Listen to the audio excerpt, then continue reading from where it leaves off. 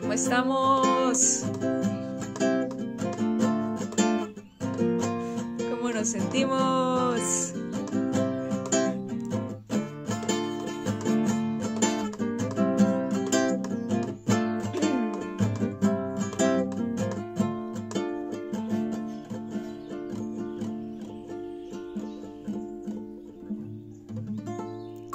Amanece nuestro corazón el día de hoy?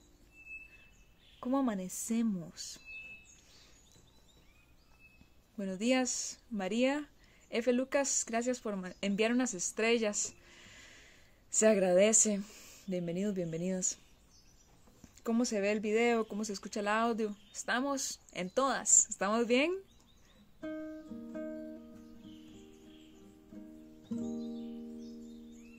Conversaciones entre mortales.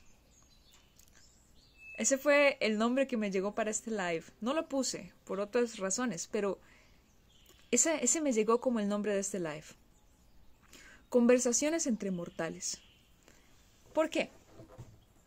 Porque en lugar de venir a escuchar a alguien que supuestamente sabe algo, no, venimos a hablar entre todos nosotros. Quizás el formato no es el mejor.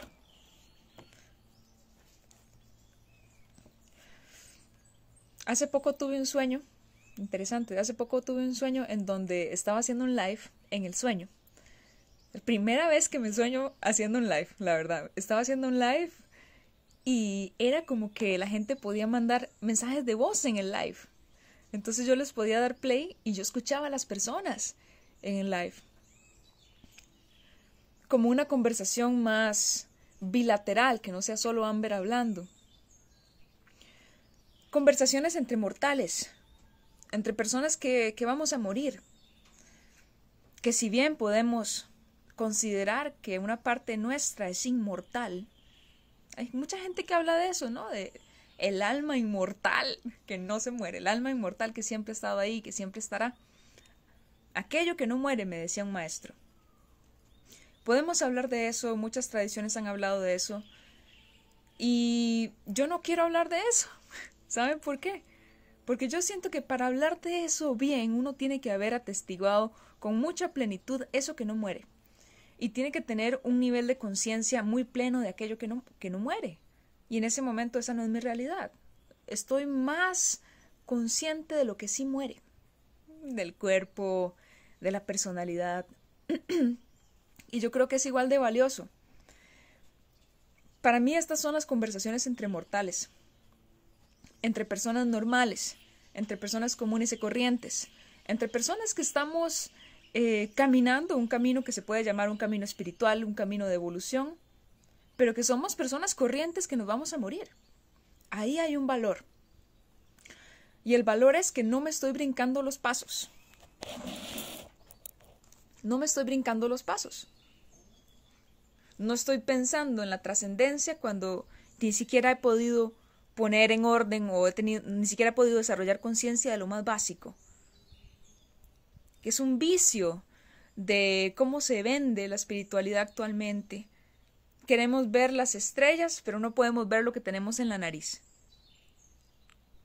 Queremos hablar de la iluminación, pero no quiero hablar de cómo me incomoda un dolor de cabeza.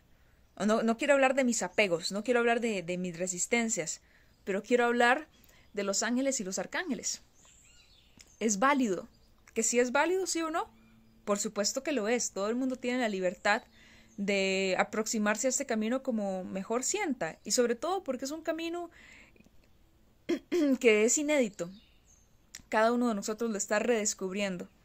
No hay, para mí no hay un camino así que tenga que ser el, camino que todo el mundo tiene que seguir, porque entonces si yo pensara eso, yo sería una persona dogmática y no me interesa ser una persona dogmática.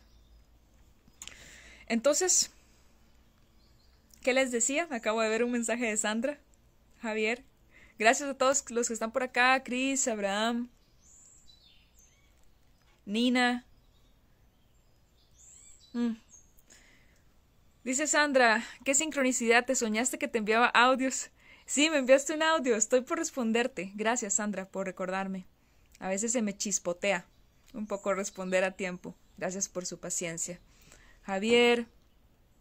Dice Nina, en mi opinión, quién sabe si el término inmortal sea el adecuado o se aproxime a lo que realmente sea. Concuerdo contigo. tendríamos que atestiguarlo. Totalmente. Hay que atestiguarlo para saber de lo que uno está hablando. Entonces, yo no quiero hablar del alma inmortal. Cuando me llegó ese nombre para los lives, es como que quiero se me está viniendo ese nombre para varios lives o para todos los lives o para este espacio, conversaciones entre mortales. Ayer estaba pensando en eso, yo decía, bueno, eh, pero ¿somos mortales o somos inmortales? ¿Verdad? Conversaciones entre mortales es un énfasis, conversaciones entre inmortales es otro énfasis, son dos énfasis diferentes. Pero lo que yo sentí es eso, es cómo puedo hablar yo de la inmortalidad si, si no tengo idea de qué significa eso. No he llegado ahí, si es que eso, si es que eso existe. Entonces, este camino, para mí, tiene que ser un camino de corroboración personal, porque si no, es una fantasía. Ajá. Puede ser que sí exista el alma inmortal, yo siento que sí, siento que he tenido como atisbos, como chispitas, pero no como que yo les pueda decir que estoy asentada en ese estado de conciencia. No estoy muy segura de estarlo. Me interesa más el énfasis de la mortalidad, que no se habla mucho. El tema de la muerte yo lo traigo constantemente a estas conversaciones, acá, a los lives, porque siento que no se habla lo suficiente en estos círculos sino que se hacen otros énfasis que también son valiosos, pero el énfasis en la mortalidad es importante, siento yo. El énfasis en la mortalidad nos permite poner los pies en la tierra de otra manera y nos permite tomar conciencia de lo valioso que es nuestro tiempo en la tierra y nos permite matizar, como lo hemos hablado en los últimos lives, nos permite matizar nuestras prioridades y nos trae mucha humildad. Cuando yo me reconozco a mí misma como un ser mortal, ¿cómo puedo yo pensar que soy mejor que otro ser? O sea, ¿dónde en mi cabeza me puede caber eso? ¿Dónde en mi mente puede haber eso si yo me reconozco como un ser mortal? La muerte nos iguala a todos y a todas. Entonces, en estas conversaciones entre mortales, propongo que hablemos de los oficios y los gajes, los gajes del oficio de nuestro camino. Las dificultades, los avances, los alcances, los progresos. Lo que es difícil, lo que es fácil. ¿Cómo vamos, no?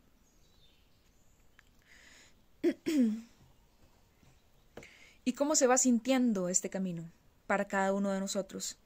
Más allá de lo que digan los libros, es solamente, solamente, y eso lo repito hasta el cansancio, solamente nuestra propia experiencia nos puede dar luz. Solamente nuestra propia experiencia nos puede dar luz. Lo demás es neblina. Yo puedo leer muchísimos libros. Yo puedo escuchar a muchos maestros en YouTube. ¿De qué me sirve si eso no atraviesa mi experiencia personal? Hablando en serio. ¿De qué me sirve si eso no atraviesa mi experiencia personal? Yo no veo de qué me sirve. De nada. Y en la experiencia personal, en el marco de esto, ¿verdad? De, querer que las experiencias atraviesen lo personal, que sea algo eh, que uno atestigúa, ¿verdad? Que uno es testigo directo.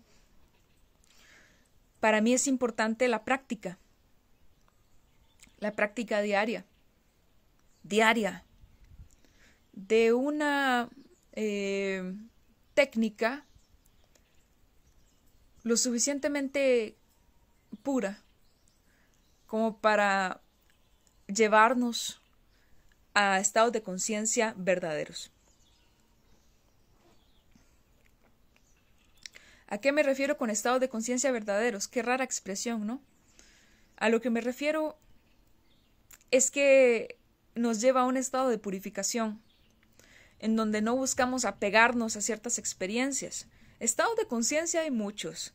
Yo me tomo aquí una cerveza, es más, con media cerveza, pero quizás una cerveza y ya voy a estar en otro estado de conciencia. O si eso es como algo más burdo, pero pongámoslo todavía más sutil, empieza a llover y quizás la lluvia va a modificar mi estado de conciencia. Me pongo a cantar, eso va a modificar mi estado de conciencia. Los estados de conciencia son maleables, realmente eh, no todo el mundo se da cuenta, pero las más pequeñas cosas modifican nuestro estado de conciencia. La comida modifica nuestro estado de conciencia en lo cotidiano. Eso es a nivel muy sutil.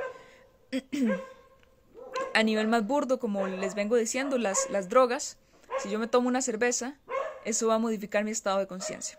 Entonces, el estado de conciencia es modificable. Hay algunos estados de conciencia que son más deseables que otros.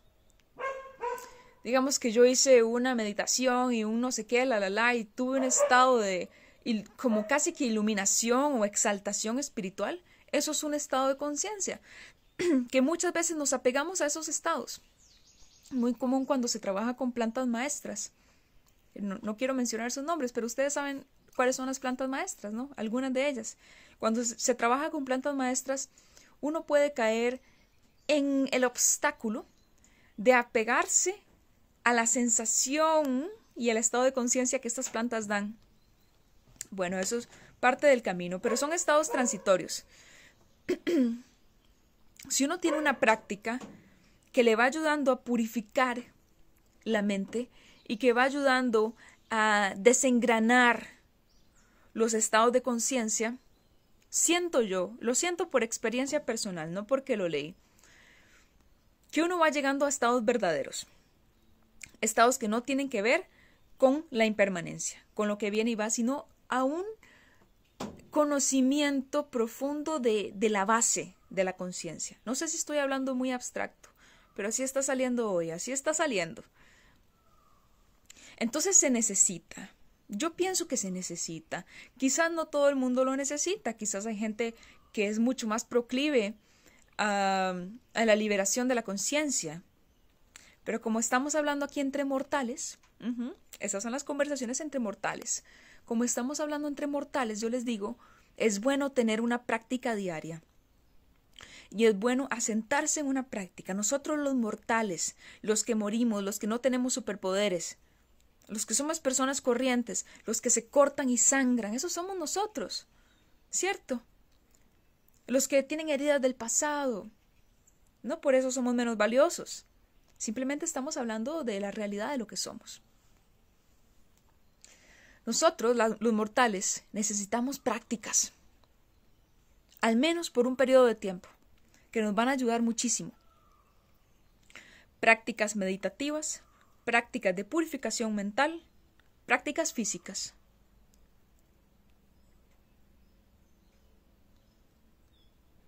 Prácticas físicas. Eso se le llama el cultivo de uno mismo, el cuidado de sí. Algo interesante que estoy estudiando, un saludo, saludo a Yali que nos ve desde Heredia. algo que estoy estudiando ahora. En este preciso momento de mi vida estoy estudiando un poquito sobre eh, la antigüedad grecorromana, los filósofos y todo esto. Y tenían esta máxima, no soy experta, más hoy lo opuesto a ser una experta en este, en este conocimiento, pero tenían una, quizás aquí Nina nos puede ayudar, ¿verdad Nina? A ver, Nina, si quieres supervisar lo que digo. Tenían una máxima que decía, conócete a ti mismo, conócete a ti mismo, conócete a ti misma. Hay un autor francés que se llama Michel Foucault, que él dice que antes, que, que para ciertos filósofos de la antigüedad, antes del conócete a ti mismo estaba el ocúpate de ti mismo. ¿Cómo yo puedo conocerme a mí misma si no me ocupo de mí misma? ¿Cómo yo puedo decir que me conozco si no me ocupo de mí? ¿Qué significa ocuparse de uno mismo? ¿Quién es el uno mismo del cual uno se ocupa cuando cuida de sí? ¿Estoy hablando en trabalenguas? No sé. ¿Quién es ese uno mismo? El cuerpo físico, eh, el, el yo que trabaja, que administra los bienes materiales, sí, sí, pero también otro más, el alma, ¿no? El, alma de los griegos. Uno cuida de otra parte de sí, cultiva su espíritu. Si yo no cultivo mi espíritu, si no cultivo mi alma, ¿cómo puedo llegar a conocerme a mí misma? Eso es lo que ellos plantean. Y mientras lo leo, más siento cómo resueno en mi ser. Por eso la práctica es importante. Porque nos hace voltear la mirada de la afuera, de el ocuparme de la afuera, y empiezo a ocupar de el adentro, como una tecnología del yo, dice Foucault. Como los métodos, las técnicas a través del cual el sujeto genera transformaciones sobre sí mismo, sobre sí misma para tener acceso a la verdad. Una transformación.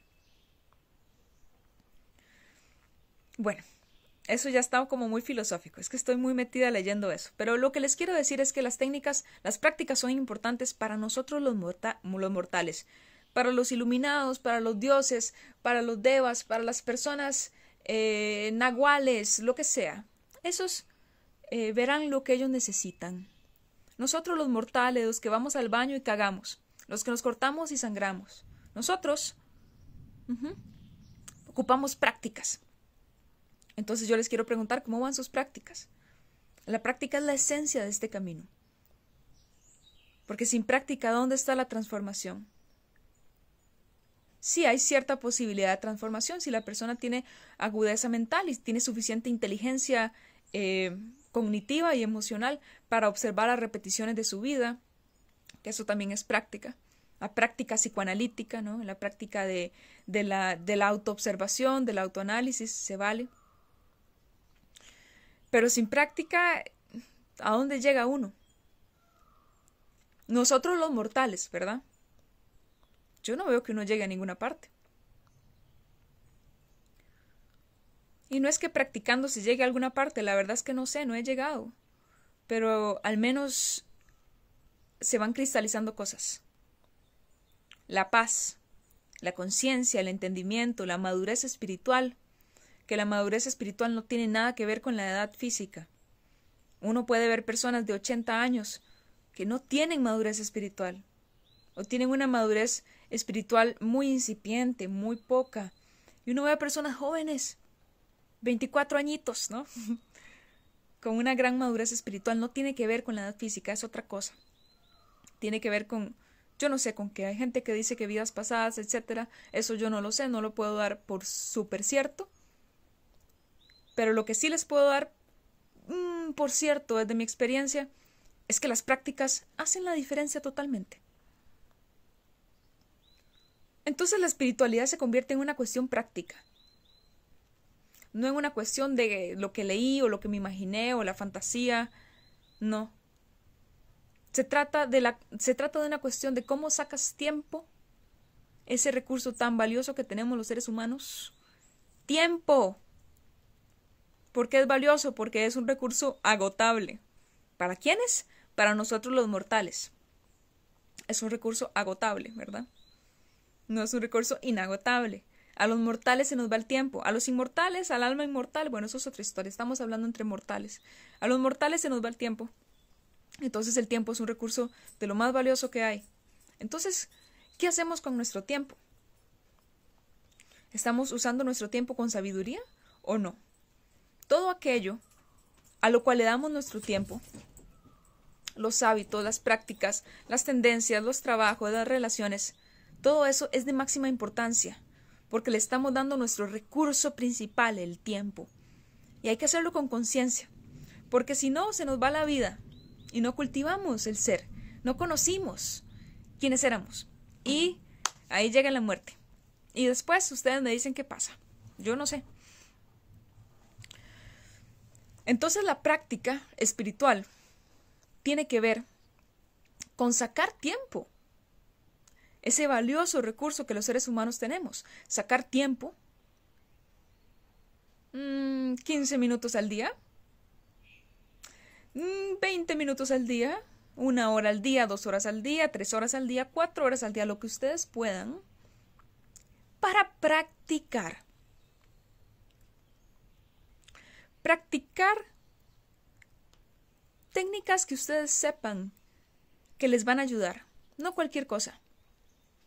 Tienen realmente que ser selectivos con las prácticas. Eso siento yo, se lo digo, eh, esto siento en este momento de mi vida, con la corta experiencia de vida que tengo. Practicar concentración de la mente. Practicar purificación de la mente, practicar silencio, practicar algo físico. Es importante el trabajo físico, ese es mi punto de vista. El trabajo físico energético. Por un lado, el trabajo físico, del cuerpo físico, del ir al gimnasio, de levantar pesas, eso está bien, eso es mantener el tonal, el cuerpo físico en forma, eso está muy bien, eso es cuidado de sí también pero también el trabajo energético. Hay gente que puede tener muchos músculos, ¿verdad? Así, musculosos, pero no tienen trabajo energético. Entonces, eh, su cuerpo energético no está tan despierto. Y eso es importante, porque nuestro estado de conciencia está directamente ligado a el estado de nuestro cuerpo energético. ¿Verdad? Eso lo dice un montón de gente. Eso no lo dice Amber, eso lo dice un montón de gente. Pero yo no lo digo porque lo diga un montón de gente, lo digo porque lo he experimentado. Pero es interesante porque ahí andan los toltecas. Los toltecas diciendo eso. Los yogis kundalinis diciendo eso. Están los tibetanos, que ahorita estoy estudiando un poquito más a los tibetanos, que me encantan. Dicen eso. Entonces, el cuido del cuerpo energético a partir de las prácticas físicas de respiración, de visualización, es importante para poder purificar los estados de conciencia.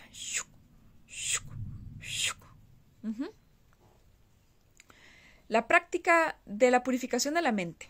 Hablemos de eso. Les voy a ser muy honesta. Conozco dos prácticas, solamente dos prácticas pero no es que hayan solo dos, pero es que yo solo he conocido dos, de purificación mental. Una de ellas se llama la recapitulación, que para mí purifica la mente, y la otra se llama la meditación vipassana. Eso es lo que conozco. Y funcionan, ambas funcionan y lo he corroborado. Esas son prácticas que realmente son la esencia de la transformación para mí. Deben haber más. Ustedes tienen que evaluar si la práctica les está purificando la mente o si la práctica está, los está engañando. ¿Qué significa que la práctica los está engañando? Que está como calmando la mente, pero no está trayendo a la superficie las impurezas. Eso es una práctica superficial. Hace poco estaba escuchando a un maestro del, yoga del sueño que él hablaba, hacía una crítica al mindfulness. ¿Han escuchado del mindfulness? Yo he escuchado, no me he metido mucho a eso porque no me ha interesado mucho. Pero eh, he visto, ¿no? Que el mindfulness para el trabajo y mindfulness para no sé qué, está bien.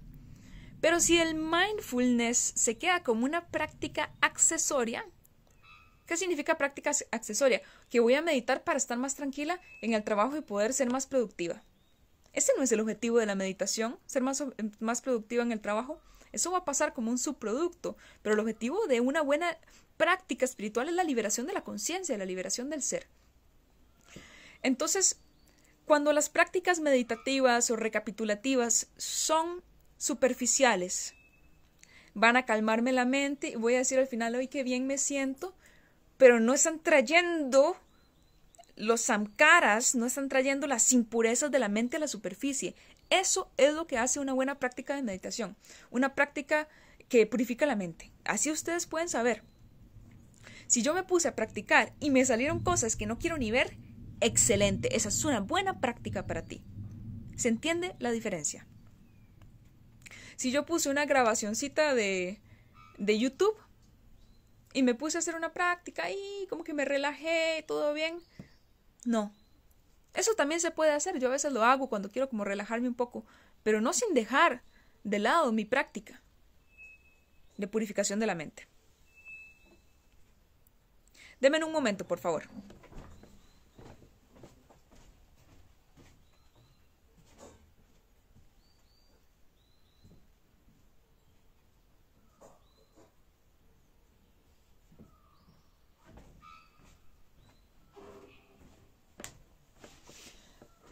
Muchas gracias. Entonces, esa es la diferencia. Entonces se necesitan prácticas de purificación mental, ya saben, ya, ya hablamos de eso, las prácticas que traen a la superficie lo que hay que ir sanando, prácticas que conecten con la profundidad del inconsciente, no practiquitas superficiales de que una musiquita y ya. No, no, no, no, no. Bueno, eso por un lado. Prácticas de atención, lo que llaman el samadhi. Eso es importante. ¿Cuántos de nosotros podemos observar la respiración de forma completamente focalizada por un minuto? Levante la mano. Yo mejor ni la levanto porque a lo mejor ni puedo. Un minuto, tan poquito. Tan poquito tiempo y no puedo. Ah, así tenemos que entrenar nuestra atención. Sí, porque se necesita una atención bien aguda y bien penetrante para poder eh, ir más allá de las, de las capas superiores de la mente. Las capas superiores, ¿qué es? Ay, pues lo que tengo que hacer más tarde, que el perro, que el gato, que tengo que ir al supermercado, que tengo que trabajar, capas superficiales. Si, si mi atención no está entrenada, yo no puedo ir más profundo, en primer lugar, a las cosas preconscientes y después a las cosas súper profundamente inconscientes de esta vida o de otras vidas o quién sabe qué. O del inconsciente colectivo, yo no sé. Pero ir a la profundidad se necesita una atención bien entrenada. Entonces se necesitan este tipo de prácticas que para mí también son prácticas de silencio. Para mí esa es una forma de entrenar la capacidad de silencio interior a través de la focalización de la atención ¿sí? Y prácticas eh, energéticas. Como les digo, ya sea que queramos hacer pases energéticos, excelentes prácticas de pases energéticos, yoga kundalini, eh, los ejercicios eh, tibetanos, etcétera, ¿verdad? Hay chikun, tai chi, etcétera. Todas estas cositas son buenísimas, no están para dejarlas de lado. Entonces, la práctica incluye todo esto. Vean qué, qué montón. ¿Cuánto de nuestro valioso tiempo tenemos para dedicar a esto? Eso va a depender de nuestras posibilidades y nuestras prioridades. Porque entiendo que todos nosotros vivimos en contextos muy diferentes. Algunas de nosotros somos madres, padres, eh, o somos cuidadoras de otras personas, entonces nuestro tiempo está más limitado, eso lo comprendo. Pero en el marco de nuestras posibilidades, ¿qué tanto podemos dedicar a esta práctica? a nuestra práctica espiritual, lo que realmente fundamenta nuestra evolución. Sí, bueno, vamos a leer comentarios. Gracias, gracias por escuchar. Se reciben todos los comentarios. Vamos a ver.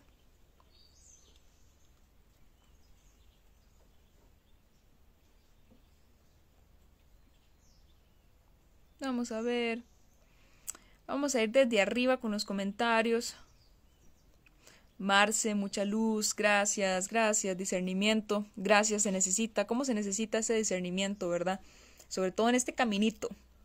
Este caminito espiritual es como así, como asá, se necesita discernimiento, uno tiene que estar pilas.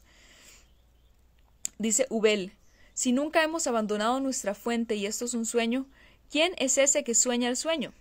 Porque si yo soy la fuente en sí, ¿por qué habría algo más aparentemente separado de la visión soñando el sueño? ¿Cómo derivó desde tu visión esto que está sucediendo en un sentido contexto humano? Gracias por esa hermosa pregunta filosófica. Mi respuesta es muy honesta, no tengo la menor idea.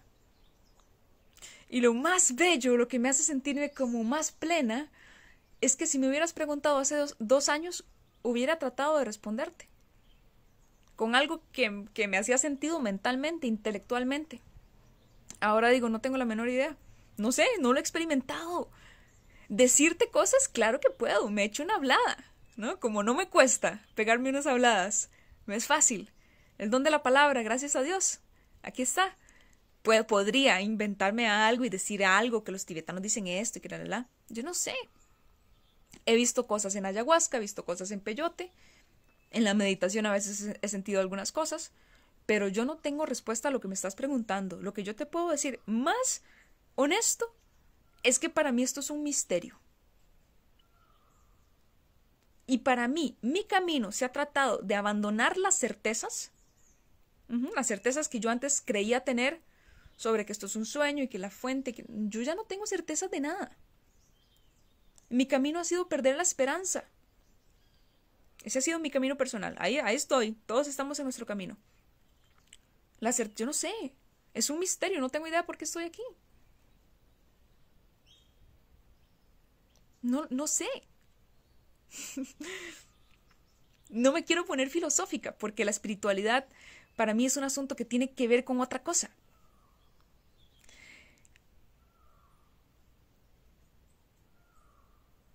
Y ahí es cuando la mente se puede volver eh, un poquito un enemigo, ¿verdad? En este camino. Y lo digo por experiencia, no lo digo por V, lo digo por mí misma, porque yo antes era así, yo me leía libros de esto y de aquello, y esto y aquello, y esto, y si alguien venía con esa pregunta, yo se la contestaba perfectamente. Y yo creía que yo sabía algo. Ese era el engaño, ese es el autoengaño. Que mi mente, mi capacidad intelectual, que estaba desarrollada, estaba bien desarrollada, me hacía creer que yo sabía algo cuando en realidad no sabía nada. Y mi camino ha sido darme cuenta y aceptar plenamente que no sé nada. Tengo ciertos saberes, sí. ¿Qué es un saber? No es el saber. Pero ¿qué es un, qué es un saber? ¿Sé escribir? Sí, sé escribir. ¿Sé leer? Sí, yo tengo ciertos saberes. Me sé algunas cositas de la guitarra, poquitito. Tengo ciertos saberes. Tengo cierto saber sobre la psicoterapia. Eh, tengo cierto saber sobre la sanación energética, tengo cierto saber sobre los pases energéticos, sobre la meditación, poquito, tengo un cierto saber, pero no tengo el saber. Entonces yo no sé, en esencia no sé.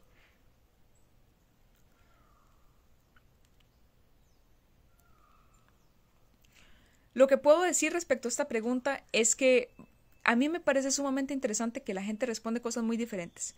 Y no gente X, ¿verdad? O sea, sí gente X porque todos somos un poco X, pero quiero decir gente con trayectoria. Esa pregunta, si vas a un curso de milagros, te la van a responder de cierta forma. Esa pregunta, y si le preguntas a los toltecoides, a los toltecas, te van a responder otra cosa. Si le preguntas a la gente del budismo tibetano, otra cosa completamente. Y las tres son propuestas de, evolución espiritual bastante válidas y poderosas. Sobre todo que conozco un poquito más la tolteca y la tibetana un poquitito. Y son poderosas, pero tienen, eh, dicen algo diferente respecto a eso. Entonces, ¿verdad? ¿Cómo está la cosa? ¿Cómo está la cosa? Bueno, gracias, Ubel, te mando un gran abrazo. Dice Iris. El alma lo siento como una parte de la inmortalidad que sentimos por dentro mientras somos mortales. Es el estado de conciencia donde entregamos una parte de nosotros con una profundidad tan grande que hasta se llega a sentir una alegría y satisfacción casi infinita. Eso lo experimento cuando pongo el alma a lo que hago, a la educación y, tiempo en mi hijo, en mi hogar, en mí misma. Qué buena. Excelente. Eso es lo importante, que si vamos a hablar de esa inmortalidad, que sea por experiencia personal, como lo dice Iris, que sea por esos atisbos personales, por esas chispas, por esos pequeños glimpses, como dicen en inglés, esas pequeñas visiones, eh, experiencias o grandes. Puede ser que ustedes hayan tenido experiencias muy plenas de la inmortalidad. Si vamos a hablar de la inmortalidad, digo yo, hablemoslo desde un lugar de experiencia personal. Gracias, Iris.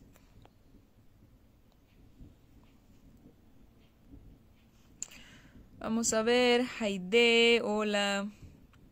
Javier dice, esta experiencia es una batalla, a veces victoriosa, muchas otras veces dolorosas, pero siempre muy satisfactoria. Qué aprendizaje tan grande para el desaprendizaje. Ajo, hermano. Mucho aprendizaje para darnos cuenta de que no sabíamos mucho, ¿no? Tenemos ciertos saberes, ¿no? Algunos de ustedes saben conducir carro o saben andar en bicicleta. Tenemos ciertas cosillas que sabemos, unos saberes. Pero saber, saber, saber, saber, saber, saber, saber. Yo no sé. Yo no sé ustedes. Dice Arturo, simplemente el alinearme a este campo de energía, mi estado de conciencia es afectado por tu energía. Gracias, ¿no? Igualmente, el campo de ustedes afecta mi campo, en esa sutileza, ¿verdad?, de la energía. Qué bueno, gracias, Arturo. Aide, gracias Liz Elguera, un abrazote. Dice Lupita, gracias por hablar de la práctica. Siento que la práctica me ayuda a fortalecer la conciencia de mi corazón. Qué bueno. La práctica es clave. ¿Para quiénes? Para nosotros los mortales, los que cagamos, los que orinamos, los que nos vomitamos, los que nos cortamos y sangramos, para nosotros. Para los inmortales, los iluminados, los devas, los dioses en la tierra, esos tendrán sus, sus cosas, ¿verdad? Ellos verán eh, qué es importante para ellos. Dice Liz, el trabajo con nuestra propia oscuridad es altamente incómodo, sin embargo es el trabajo que siento más beneficia. Claro, es el, es el trabajo de purificación de la mente. Bueno, yo lo veo así, también se puede ver como lo estás diciendo. Es lo mismo. Y claro, es, es la esencia. Porque si, si nos quedamos en prácticas superficiales, entonces no le llegamos, no le llegamos.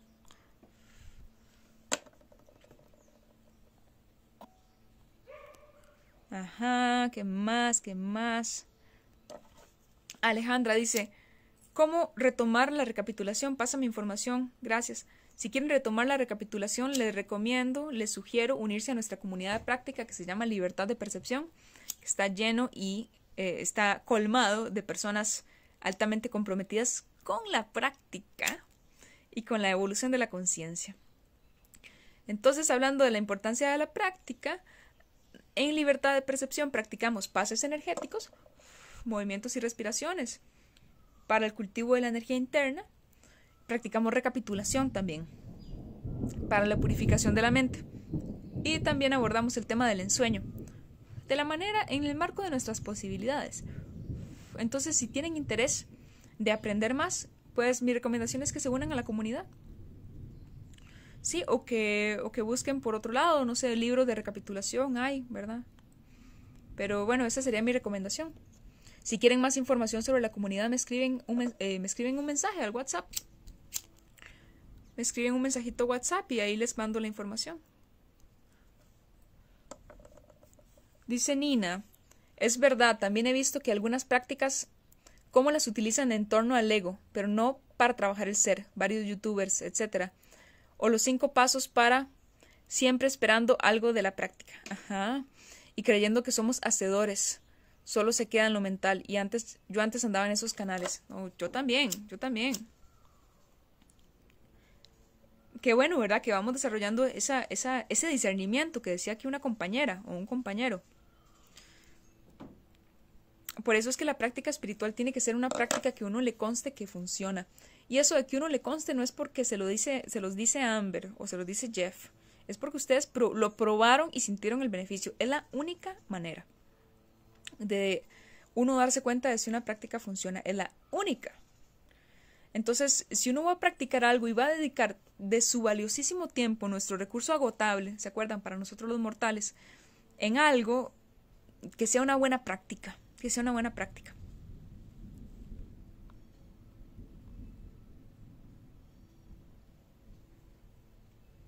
Dice Alejandra, avísame, quiero retomar pases energéticos y recapitulación. Bueno, bienvenida al grupo, Alejandra.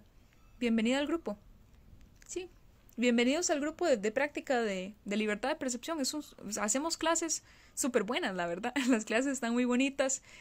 Hay mucho, muchísimo material para trabajar. Quizás demasiado material. Así está. Entonces, bienvenidos al grupo. Dice Sandra, la frase que dice la práctica hace al maestro es muy cierta. Sí, es muy cierta, es muy cierta. Eso da mucha humildad también, ¿verdad?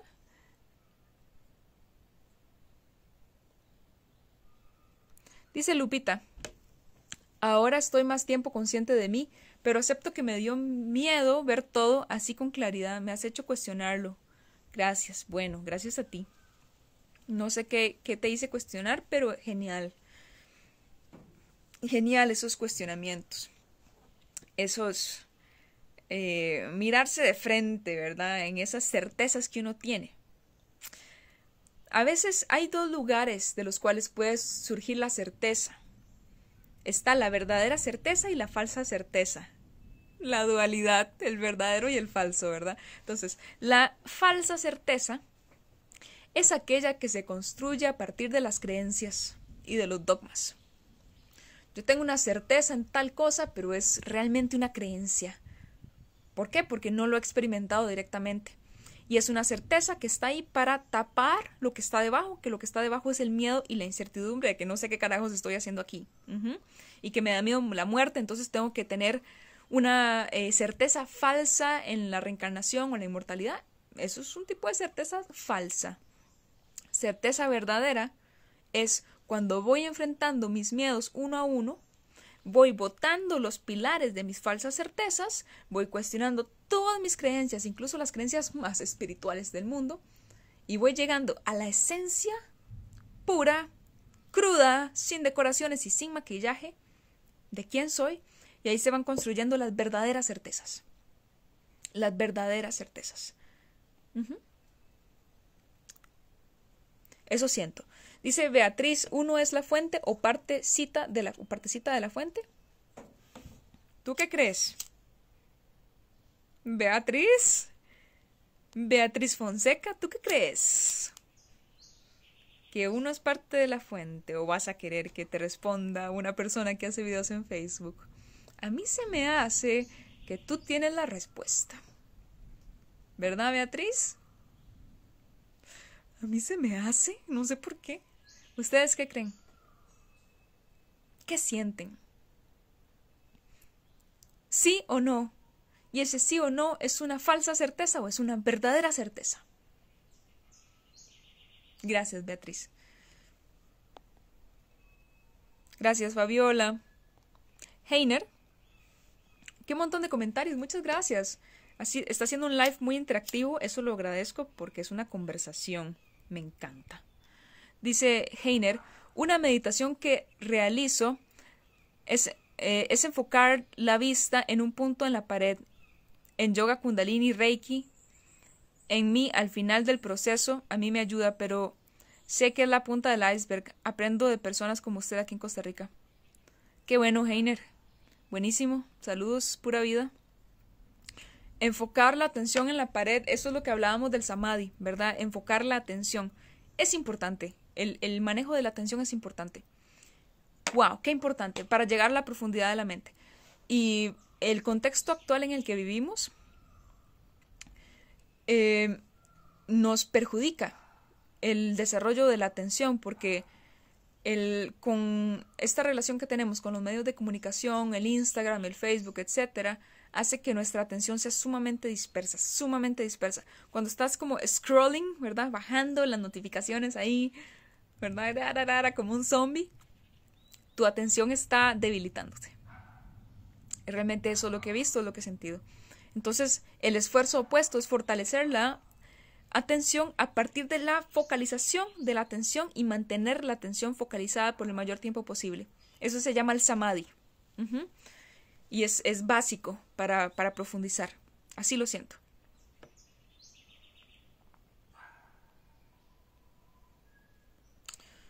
Ajá, ¿qué más? ¿Qué más? Comentarios.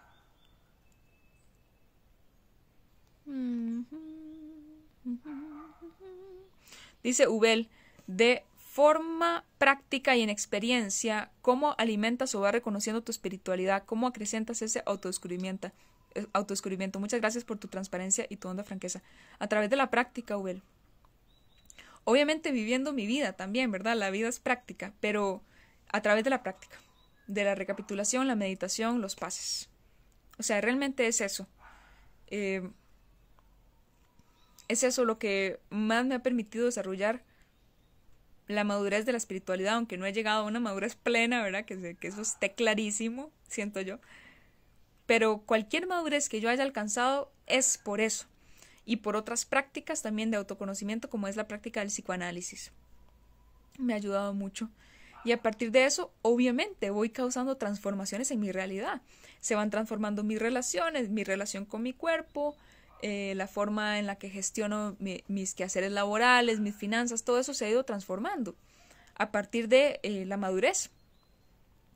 Pero la base es la práctica. Entonces, específicamente, de forma práctica y de forma experiencial, te digo, bases energéticos, meditación, recapitulación esas. y la otra ya es como un poco más abstracta. Entonces no vamos a hablar de eso ahorita. Pero meditación, pases energéticos, recapitulación. en mi experiencia no es la única y no es la, la no es fórmula para todo el mundo. Sí sé que funciona. Claro. Ajá.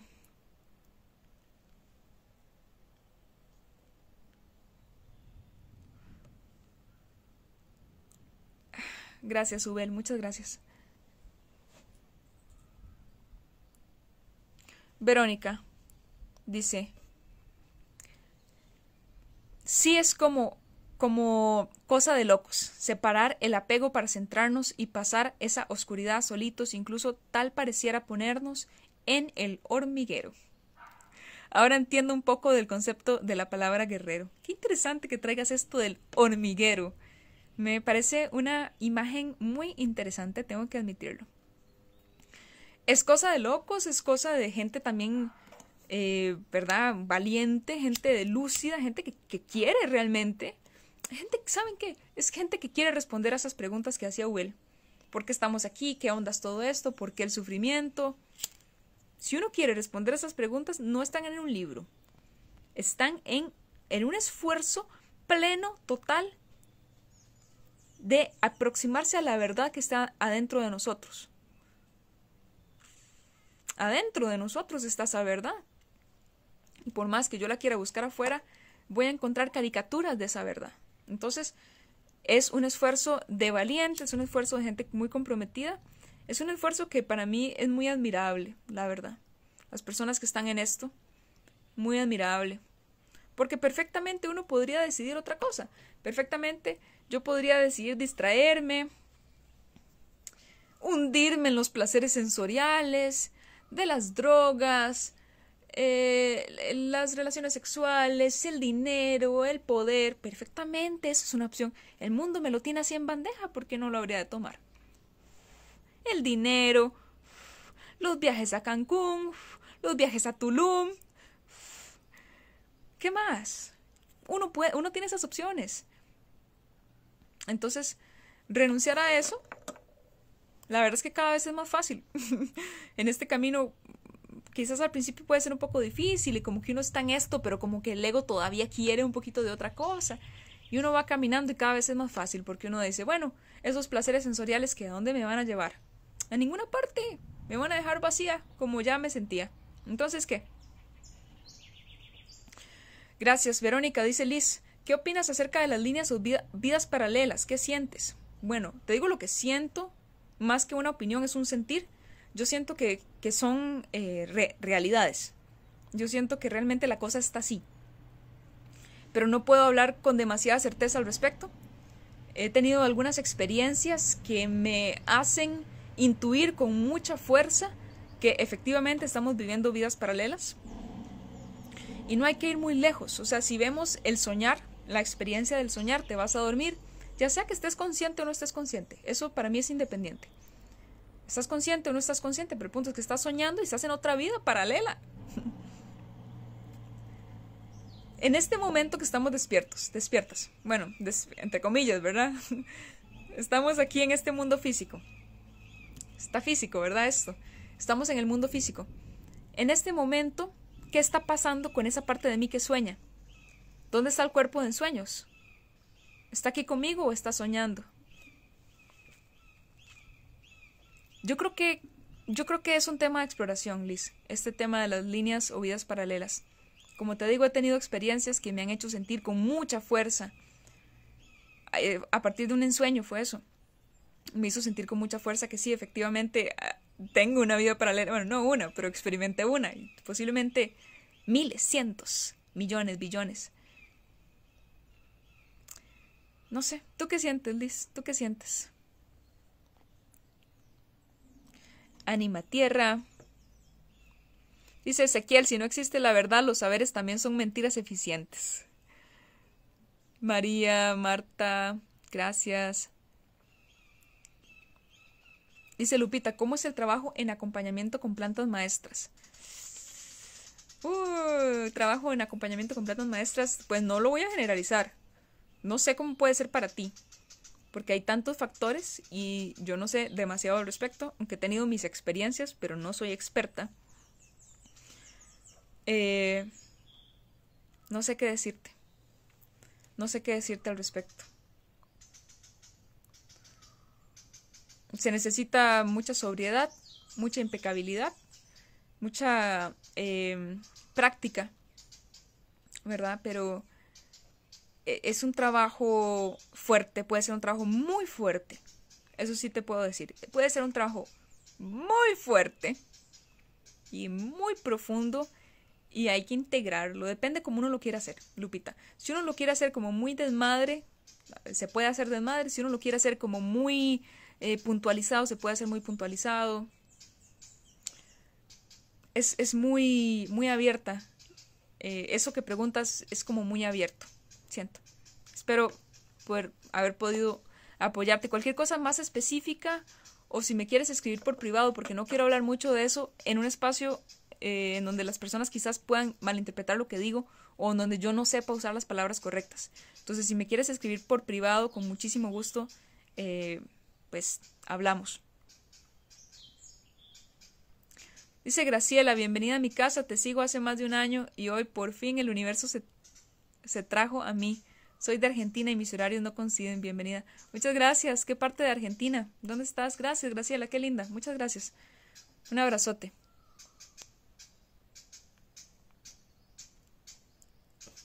Dice Verónica. Gracias por tantos comentarios, gente. Qué bonito. Dice Verónica. Eh, me faltó añadir, luego de la lucha por tanta ilusión, volver a conectarnos o fortalecernos desde el poder interno. Dice Angie, ¿por qué la división? ¿Conoces a inmortales? No he tenido la suerte de conocer a inmortales. un abrazo, un abrazo, pura vida, Angie. Sí conozco inmortales, pero a la vez son mortales. Es que esa es la, esa es la cosa, ¿no? Sí conozco, pero a la vez son mortales. Yo hoy estoy hablando aquí como mortal, no como inmortal. Gracias, Angie.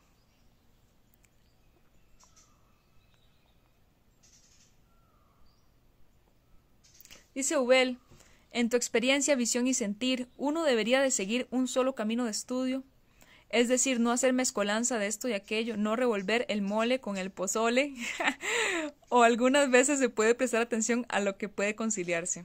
Mm, qué linda pregunta.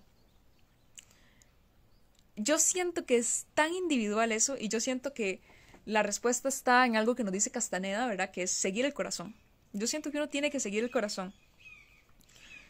Este, a veces el camino lo lleva uno hacia un lugar y a veces lo lleva hacia otro.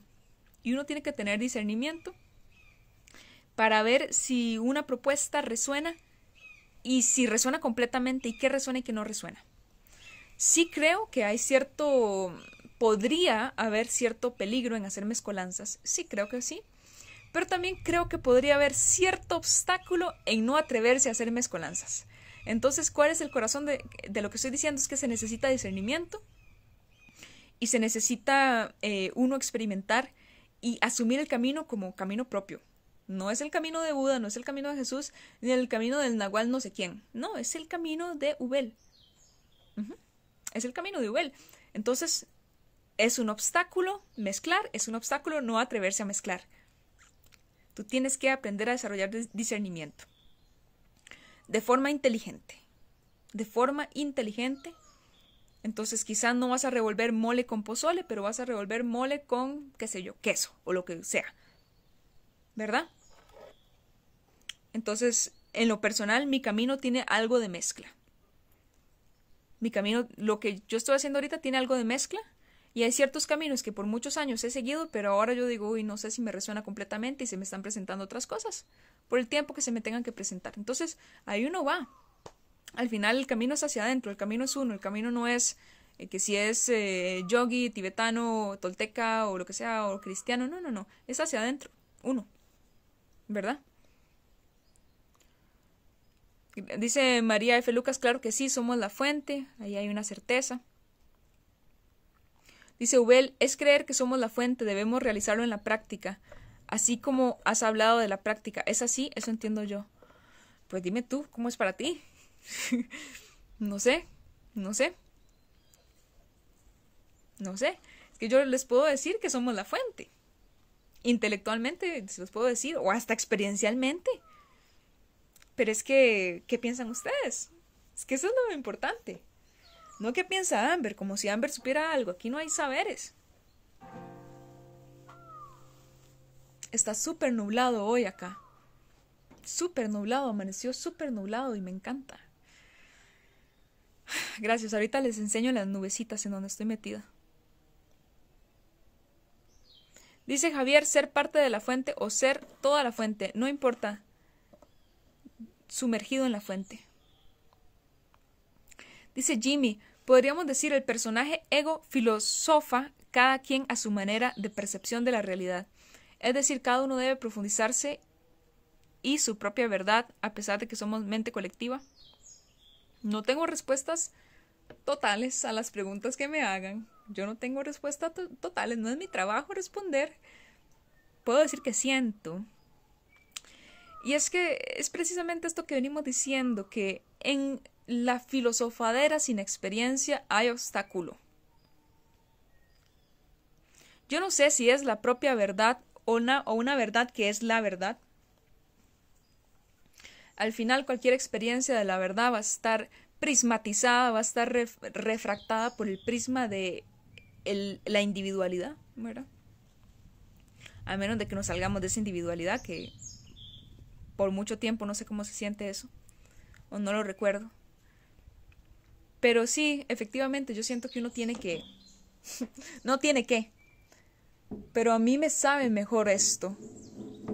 Como que mm, me sabe más rico, más real, más verdadero cuando lo experimento directamente. Más allá de, de andar diciendo esto o aquello. Entonces hay hipótesis de trabajo, como esta hipótesis de trabajo de que esto es un sueño. Yo trabajo muchísimo con esa hipótesis, pero yo no lo voy a predicar, porque ¿qué significa que sea un sueño? Yo ya no sé qué significa eso, ¿no? Lo interesante que me voy dando cuenta, gente, es que para uno ser más feliz y estar más en paz y ser más libre, uno no tiene que entender tanta cosa. Eso es lo, eso es lo interesante. Yo antes pensaba que sí, pero ahora me doy cuenta de que para ser más pleno, más feliz y más libre, no es necesario entender tanta cosa. Eso se los quiero dejar sobre la mesa, bien planteado así. Vamos a mostrarles las nubes y voy a seguir leyendo comentarios.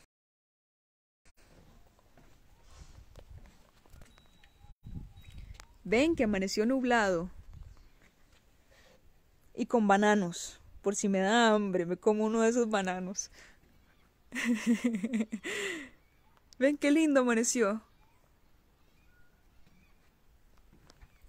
Así amaneció. Bueno. Dice Yali, todo está pasando dentro de nosotros. Ahí están las respuestas. Gracias, Yali. Dice Alejandra, pero no se puede tener todo. Para eso no estamos en este plano, para experimentarnos en él. Solo recordamos en el tránsito quienes somos. Nunca hemos dejado de ser quienes somos. Nunca hemos dejado de ser quienes somos. ¿No se puede tener todo? ¿Preguntas? No sé. ¿Qué es todo? ¿Qué es todo para ti? Es que ¿qué es todo para ti? No sé qué es todo para ti. Para eso no estamos en este plano. Yo no sé para qué estás tú en este plano. no sé, yo les digo lo que siento. Para experimentarnos en él. ¿Tiene sentido? pero no sé qué significa tenerlo todo. Si me tengo a mí misma en mi plenitud, en la plenitud de mi ser, más allá de mi mente, de mis apegos y mis necesidades creadas artificialmente, yo tengo todo. Sin tener que poseer un montón de cosas materiales, que también las puedo poseer, por supuesto. Pero si poseo muchas cosas materiales, lo tengo todo, si no me tengo a mí si no tengo esa conciencia de mí? Entonces, ¿qué es el todo? No sé. Dice Aline, estoy con mis oídos súper nítidos, ¿qué hago? Pues no sé. ¿Cómo súper nítidos? ¿Qué quiere decir eso? Estás escuchando muy bien. No sé. No sé qué quieres hacer con eso. Ponte a escuchar Mozart. No sé. Gaby. Hola. Gracias María de los Ángeles. Dice Alejandra, todos somos inmortales. Dice Rubal, muchas bendiciones desde Cahuila, gracias. Brenda Lee, ¿cómo estás? Dice, tengo una, esta pregunta en mi mente. ¿Renunciar a la existencia me llevará a la libertad? ¿Cómo podemos renunciar a la existencia? Yo no sé si uno puede renunciar a la existencia. No sé si uno puede. Incluso, digamos, por ejemplo, poniendo el, la muerte. Yo no sé si uno deja de existir. Es que volvemos al tema de la mortalidad y la inmortalidad. Yo no sé, les voy a decir que siento, pero no está completamente realizado ese sentir. Yo siento que uno no puede renunciar a la existencia. Yo siento que uno no puede renunciar al existir y ser parte del todo, de la fuente. Eso es lo que yo siento en este momento de mi camino. Yo siento que no se puede renunciar. Uno puede renunciar a otras cosas. Uno puede renunciar a los placeres sensoriales, uno puede renunciar a los caminos del ego, uno puede renunciar a las, a las formas en las que estamos programados para actuar. Uno puede renunciar a ciertos deseos que pueden parecer mundanos, no porque sean malos, sino porque quizás nos distraen de el enfoque de la autorrealización. Es una renuncia que creo que puede llevar a la libertad. Pero no quiero dar fórmulas para todo el mundo, y menos así. Es peligroso responder preguntas así, tan sacadas de contexto y realmente sin saber por qué una persona está preguntando, porque son preguntas delicadas, ¿no? Entonces yo siempre digo, bueno, eh, cada quien tiene que hacerse cargo, ¿verdad?, de estas preguntas. Pero sí, en lo personal, la renuncia a muchas cosas me ha llevado a una experiencia más plena de la libertad. La renuncia a los apegos, la renuncia a la noción de mí misma, la renuncia a gran parte de mi importancia personal, la renuncia incluso a la idea de la inmortalidad. Por eso les digo, hoy les hablo como mortal. Tal vez sí soy inmortal. A lo mejor que sí. Pero no me aferro a eso. Si no soy inmortal, pues no, no fui inmortal y fui inmortal y ya. Eso me da más libertad. Ahí parece una contradicción. Porque la gente suele sentir, todos somos diferentes. Hay gente que suele sentir que con la idea de la inmortalidad siente más libertad. Para mí, esa era una falsa libertad. Entonces yo tuve que llegar a un punto de renunciar a la idea de, la vida después de la muerte. Y renunciar, a la esperanza. Matar, la esperanza se murió. Entonces puede ser que tenga vida después de la muerte o puede ser que no. Y en esa condición tan pura de, de verme como un ser mortal, me siento más libre. Entonces es un camino así como interesantón, ¿verdad? Es como interesante. Gracias, Brendalí, te mando un gran abrazo. Espero que estés muy, muy bien.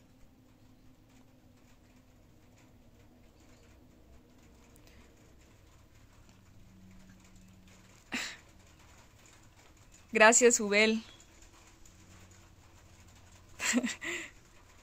Quedaría una bofetada a toda esa horda de fanfarronería espiritual. Separa la paja del, del trigo. Bueno, ojalá. Espero poder hacerlo. ¿Saben por qué? Porque en eso estoy yo conmigo misma. En eso estoy yo conmigo misma.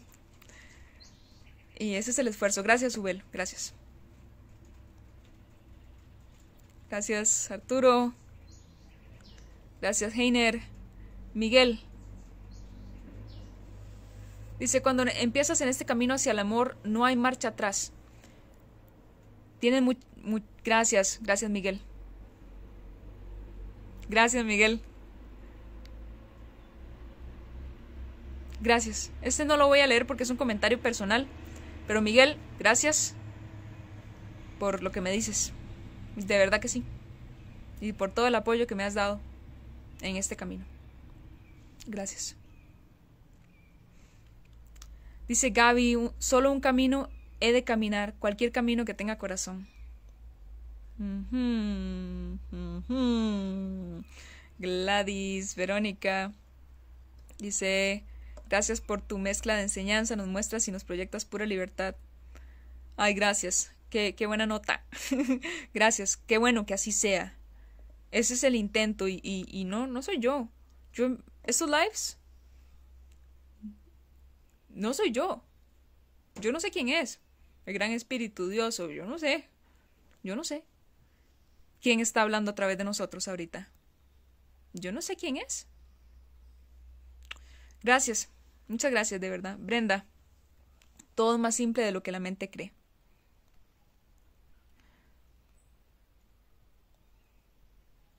Este lugar es muy hermoso. Gracias, María Ubel. Vivo en un lugar muy, muy bello y se está poniendo más nublado todavía.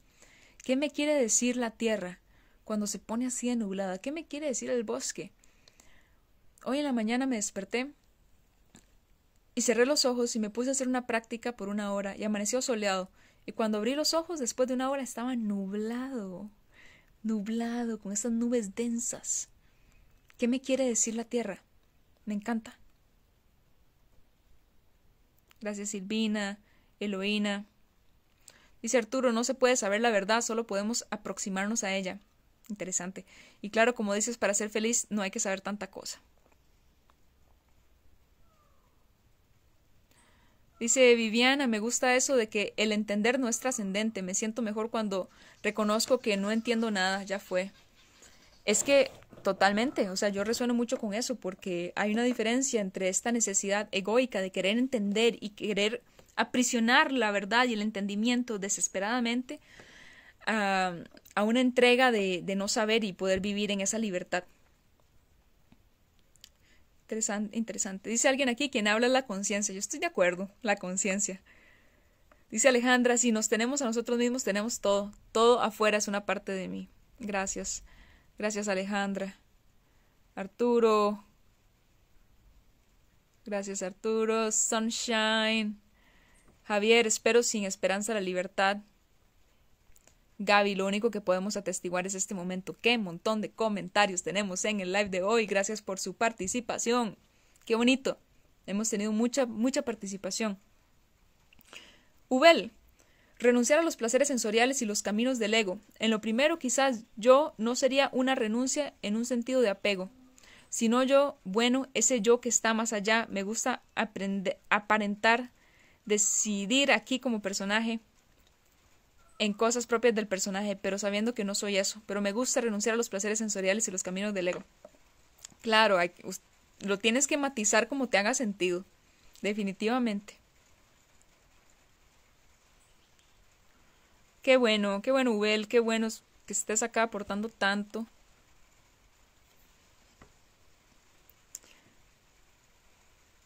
Dice Javier, gracias al Creador por la soledad y los días grises. Gracias, ahora ya está empezando a llover mm, estos días grises. Qué bueno. Dice Ubel, ¿en algún live ya hablaste de lo que aprendiste o algo que nos puedas compartir en tu viaje de una semana? Sobre todo a mí me gustaría saber si nos pudieras compartir la meditación desde lo que viste ahí. Desde que vine de ese viaje, vamos a musicalizar esto. Desde que vine de ese viaje he estado compartiendo acerca de ese viaje. No, no, es, no he salido. Y los lives desde ese día, desde ese viaje, han estado permeados de, ese, de esa enseñanza. Entonces, de alguna u otra forma, ya estoy compartiendo lo que he podido aprender desde la humildad de mi experiencia, desde mi corta experiencia, La meditación en sí no se las puedo compartir, no me siento capacitada y creo que estaría haciendo un, un disservice, se dice en inglés, como un, un, No es un daño, pero lo mejor que les puedo decir es que vayan y tomen el curso de Vipassana. Es mejor, mucho mejor eso a que si yo les transmito la meditación. Así que mejor vayan y tomen curso de Vipassana. Dice Enriqueta, gusto en saludarte ese es el bosque nebuloso de Costa Rica. O en Costa Rica, ¿qué área te encuentras? ¿Qué sitio de Costa Rica? ¿Recomiendas visitar primero? ¿Qué sitio de Costa Rica recomiendas visitar primero? Me resuena mucho. Es la primera vez que escucho el término bosque nebuloso. Me encanta. Estamos en el bosque nebuloso de Costa Rica. Con los animales y las matas. Con las plantas y las sombras y los seres orgánicos los inorgánicos y esos que veo en los sueños y los que conozco y los que no conozco y los bichos y los pájaros, todos. Así, así.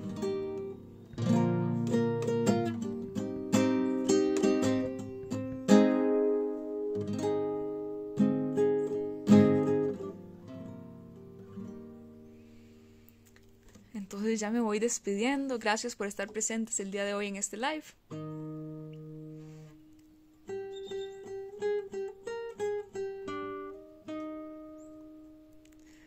Estoy para lo que necesiten, sesiones de sanación energética, si quieren, si tienen esa necesidad de trabajar algún tema en específico, con muchísimo gusto les ofrezco eh, mis servicios de forma individual para quien quiera trabajar en ese contexto.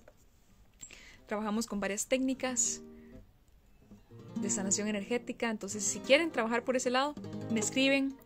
Mi WhatsApp está en la descripción de este video. Se meten a mi WhatsApp, me escriben un mensajito, les doy información sobre las sesiones o información sobre el grupo de práctica. El grupo de práctica de libertad de percepción, en donde pueden aprender técnicas buenas. Técnicas buenas. Eh, recapitulación, pases energéticos, técnicas de ensueño. También les invito a seguirnos en Instagram como Libertad de Percepción. Y también tenemos un canal de Telegram y el enlace está en la descripción de este video. Y ahí pueden encontrar nuestro Telegram y se pueden unir y ahí vamos a estar compartiendo información. ¿Vale?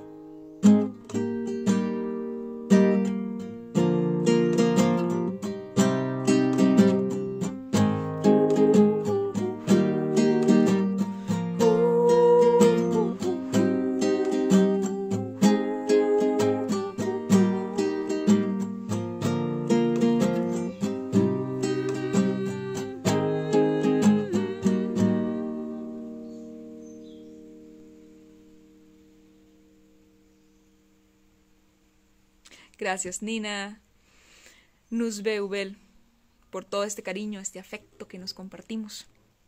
La complicidad de compartir un camino con honestidad, sin maquillaje, sin pelos en la lengua, sino tal como es. Muchas gracias, gracias, gracias. Que sigamos brillando, gente, que sigamos brillando. Nos vemos.